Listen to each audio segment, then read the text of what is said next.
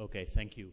Uh, ladies and gentlemen, a, uh, a very good uh, morning from Alexander and myself. Um, I think we're, we're very honored uh, to have been invited um, to this conference uh, today. I, can, I think I can say that on our mutual behalf.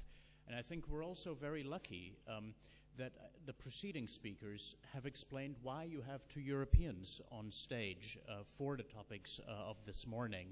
So we're extremely grateful to them. My personal gratitude is that I'm here with Alexander because I think what we will be explaining to you is that we did have some turbulence, and quite some in Europe as well, with a very aggressive move by our antitrust regulator, the European Commission, to move into the field of IP, which in Europe is really the prerogative of the national judges. But just like, well, hopefully today's morning fog, uh, quite some of that turbulence has burned off, given that we do have a ruling by our Supreme Court. It's a matter called Huawei that you've seen um, in some of the, um, uh, the previous presentations, and we'll go through that um, in uh, our presentation. If I could ask um, our technical staff to maybe pull up um, the different presentation that we send you this morning on stick, which is a joint presentation uh, which has my name to it. I think we can get started on that. Well, um, while we sort um, the technicalities, what we're doing in that presentation is really four things. We're setting out the, um, the role of antitrust um, in IP in Europe, very briefly. Then, and here is where it's technical and where I'm particularly grateful uh, to Alexander to be up here with me. Uh, we'll be discussing the, um, the Huawei ruling.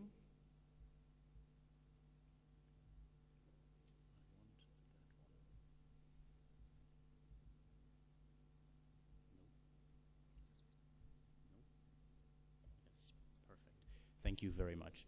So um, we'll then be discussing the Huawei ruling. Um, we're then moving to, uh, well, whether there is still um, flux um, and rather a, a set uh, presentation. Now, um, what was the issue? Just like in India, um, we had exactly the, the issues Hemant had pointed out. There is a tension between what antitrust and IP wants to achieve, and our EU regulator felt it had to step in, and there was an extreme amount of activism by our previous competition commissioner, Commissioner Almunia, um, stating in public um, fora that he was concerned that his grandchildren would still um, um, enjoy the benefits of innovation if he, as the antitrust commissioner, wouldn't step in, and stepping in, he certainly did.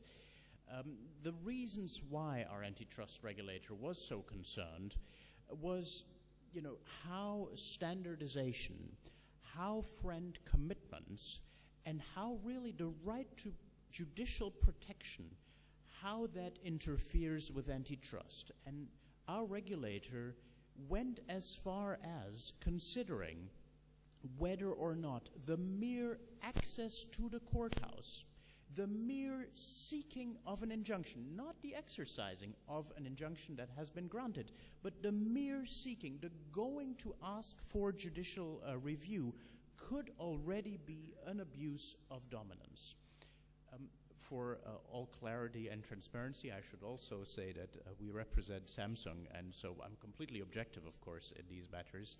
Uh, but we did have a certain position um, in uh, that whole debate. The real question was whether what we had before our antitrust regulator waltzed in, the system which essentially was built on a precedent created nationally by the national judges in Germany called the Orange Book Standard, which Alexander will explain in just a minute, whether that hadn't tilted the balance too far in terms of protecting the rights of the licensor, the holder of the SEP. The Commission clearly thought that was the case and decided it would step onto what was previously held to be the domain of the national judges. The Huawei ruling that was issued in July of last year by our, well, I'll just call it our Supreme Court, at least at the EU level, um, seeks to, well, really reset the balance between what was the original way of looking at SEPs and the rights to an injunction as set in the national standard called Orange Book and what our European regulator, the EU Commission, had meanwhile created in two decisions a negative finding in Motorola Mobility and a settlement decision in um, Samsung Electronics.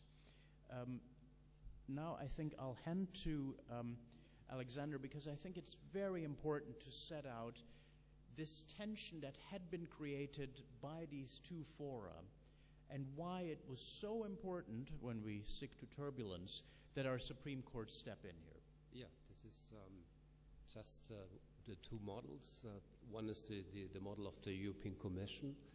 We call it the, the, the EC approach, and the other one is the Orange Book approach, which uh, was law in, or let's say, was case law in Germany uh, since 2009, and uh, and most of the decisions are uh, infected, impacted by that Orange Book decision. Um, so the contrast is quite uh, great between the two approaches. And I think this is important to look into this in order to understand what is uh, since July, since uh, our Supreme Court, I say that, uh, has rendered uh, the uh, decision in the Huawei case in order to give us a new, let's say, new guidelines in, in for the patent litigators how to, to deal with the SEP issue in patent litigation. So the European Commission simply said, said uh, it is sufficient already that uh, one side, uh, the uh, let's say the user of the, the SEP patent, shows willingness to uh, to negotiate. And uh, and of course, what does this mean? Willingness to negotiate. It was first unclear, but it was also clear that this is not workable.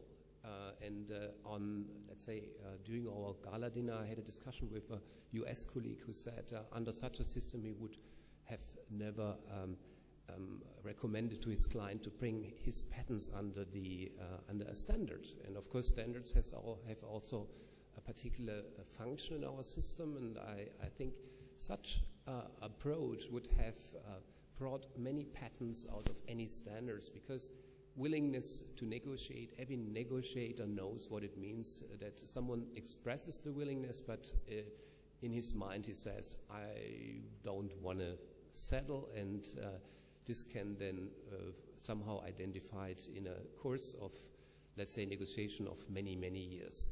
So the other side now, this was the orange book approach, uh, starting from a, not from a uh, SEP case, uh, it started from a de facto uh, uh, uh, norm in but the, the German case law was, was applying that decision in all the cases, also on SEP, and but it was somehow um, felt unfair for the user of that, uh, let's say, the, the, the, SEP patent. Because um, what makes it, uh, what are the characteristics of the Orange Book uh, procedure. The first thing is that uh, it was up to the, uh, the defendant or the user of the patent to make the front offer. So he had the burden to uh, make such an offer to the owner of the SEP patent. And um, in consideration also of our proceedings in, in Germany, it was not necessary for the SEP owner to put the other side on notice prior to filing any a litigation case. And we know that uh, Germany is a rocket docket system. You might have a hearing in Mannheim already in seven months. And if someone uh, files a lawsuit on an SEP patent in Mannheim, the other side gets into trouble because uh, they have to not only to, to uh, let's say, to to get uh, these procedures